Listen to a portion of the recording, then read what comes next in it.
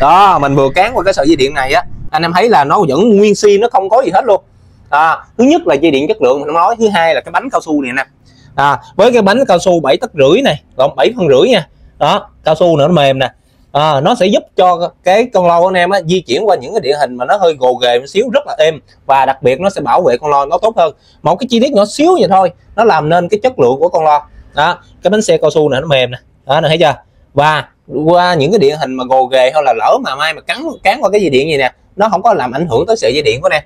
Đó với con lo DB06 Super Battle nè sở hữu cho năm dây điện chất lượng bánh xe cao su mềm êm à, di chuyển ở những cái địa hình giống như là bây giờ gạch bông đi anh em sợ chày gạch bóng kiến nữa anh em sợ chày thì cái bánh xe này nè nó sẽ làm cho anh em à, rất là yên tâm. Đó rồi ví dụ bề mặt xi măng thì sao nhám rồi nó chày xước rồi cái thứ thì à, mình kéo qua cũng dễ dàng nó không gì hết. Rồi lỡ chẳng may mà cán qua sợi dây điện hay gì đó thì nó cũng không không ảnh hưởng tới này đó đó là một trong những cái điều rất là đặc biệt và tuyệt vời của cái con lo DB06 Super Battle này. Sở hữu cho mình là bốn cái con bánh.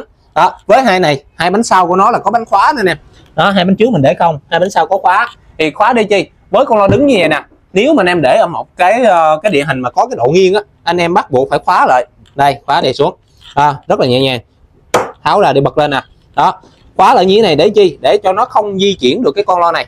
Nó sẽ đảm bảo cho anh em là nó an toàn cho con lo này bởi vì độ cao như này rất là dễ lật à, nếu như ví dụ con này ba tấc thì nó cũng khá khá là đỡ rồi nhưng mà những cái con lao bát 4 tấc nó cao gì nè đó anh em di chuyển mà không khéo qua những cái dốc nghiêng một cái nó lật là banh con lo luôn. Ừ. nên là nếu như anh em muốn à, gọi là an toàn hơn cho con loa thì anh em cũng phải cân nhắc về cái việc cái bánh này nó như thế nào nha. Đó rồi ở ơi liền cho mình nếu anh em muốn sở hữu cái con lo DB06 Super Battle này